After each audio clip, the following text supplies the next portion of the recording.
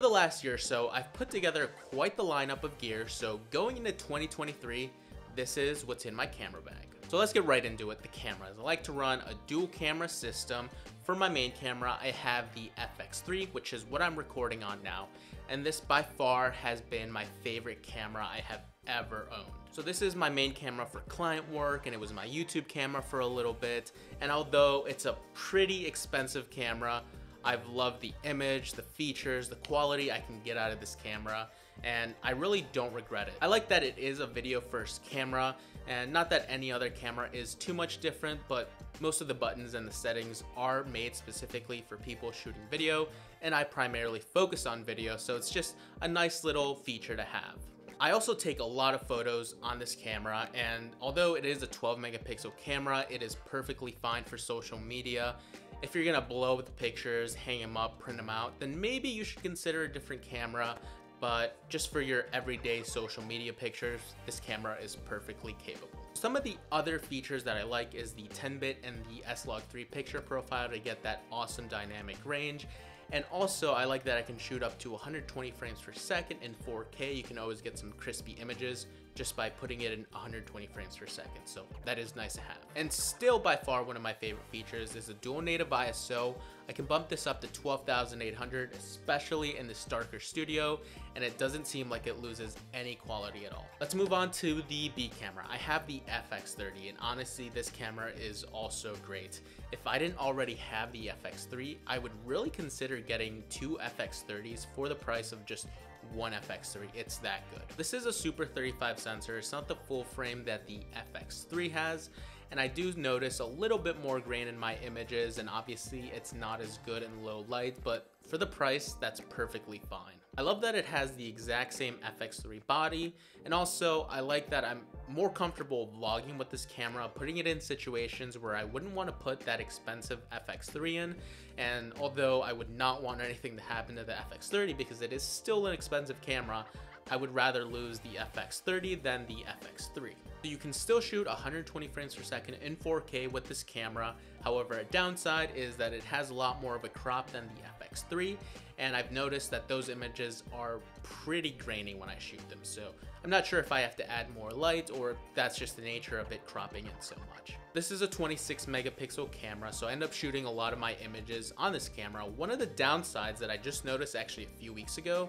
is that this camera doesn't have a burst mode, but I guess that's okay. And another upside is glass for this camera is so much cheaper than if you were getting full frame glass for the FX3. So it's awesome that I can get a few more options on the FX30 and not spend as much as I would on the FX3. The next piece of gear that's been in my camera bag a lot is my new Mavic 3 Classic. I just got this a few months ago and it has been a huge upgrade from my Mini 2. So the reason I decided to invest in the Mavic 3 Classic is because it really checked all the boxes that prevented me from sometimes using my Mini 2.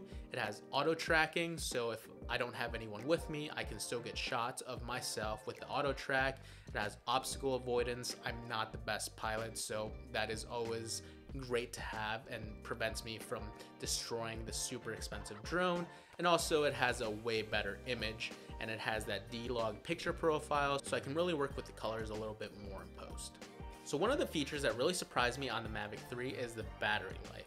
Honestly, if you're just going out there getting a few clips, you could probably get away with just one battery. I ended up picking up a second one just to be safe, but this thing lasts forever. So if you're not going out there all day and shooting and just getting a few clips here and there, kind of like I do, you can get away with just one battery. One of the downsides of the drone is just the size. I tested out the Air S2 and it is still larger than the Air S2 and it is massive compared to the Mini 3, but just for all the features it offers, I'm willing to put up with the size. Next we have the C camera, which is the iPhone 14 Pro Max. I am an Apple sheep, so I'm always gonna have an iPhone with me, but I think we can all agree that iPhones have a solid camera and it is probably one of the better video cameras for content creation. This is the perfect camera because it's always in my pocket, so if I need a quick clip, I know that I can get it on this phone and I'm still gonna get a quality video. And if you're a content creator and you have a MacBook, then this is just gonna work so seamlessly, especially with AirDrop. That's probably my favorite feature. I can just get clips to my MacBook, to my iPhone in just a few seconds. And if you do happen to have an iPhone, you should check out Ghostek. They sent me over these cases to try, but I wasn't paid to say anything good about. I will say they look nice and feel super sleek and not extremely bulky. They're also supposed to be really protective, but I'm not dropping my phone to test that out. And if you happen to pick one up, use my code, you get a small discount and I get a small kickback. So let's talk about the glass options that I have for my two cameras. I basically have the focal lengths from 10 to 400 covered with these lenses. I have a mix of APS-C and full frame, but I have a 10 to 20 for my FX30 that is an APS-C lens. I have a 16 to 35 that I use for YouTube videos, vlogging on the FX3 since it is a full frame lens. And then I have my main lens, a 24 to 105. And then also my brand new lens, I have a 100 to 400 Sigma that has been amazing. So these are all f4 lenses, but if you know how to use it right, you can still get that separation and blurry background.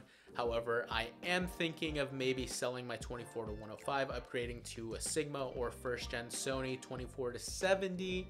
Although I told myself I wasn't gonna mess around with my gear and purchase any more or sell, but we'll see. So I'm always changing camera bags, but this latest bag I got from Amazon and I really picked it up for three main reasons.